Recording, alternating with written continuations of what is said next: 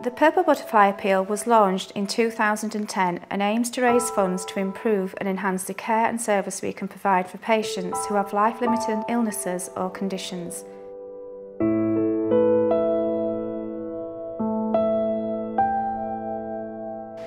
With your support, we can ensure that we provide the best possible environment for these patients so that the end of life is as comfortable and possible and they die with the respect and dignity they deserve.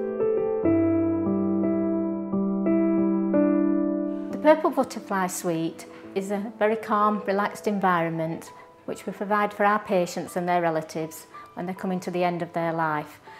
Without the help of the Rotherham Hospital charity, we would not be able to provide this facility, so we'd like to thank them. The first suite was opened on delivery and the delivery suite. This there are over 30 babies a year born stillborn. This gives the young mums privacy away from the other mums, it's a soundproof room where they can deliver their babies and not have to see other mums and babies. The second one was positioned near the stroke unit. This is mainly for older people.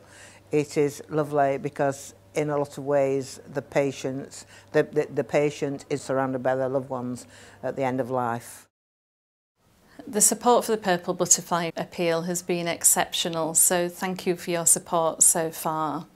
The, we are proud of the standards of care at the Rotherham NHS Foundation Trust, but what the Purple Butterfly Appeal offers is the opportunity to provide space for patients and their families, space which can often never be reclaimed. In the hustle and bustle of activity on a ward, which can often be noisy and distracting, the Purple Butterfly offers the opportunity for families to be together with their loved ones. And this is an important time for them, an important time for us. So thank you for the fundraising that you've done so far.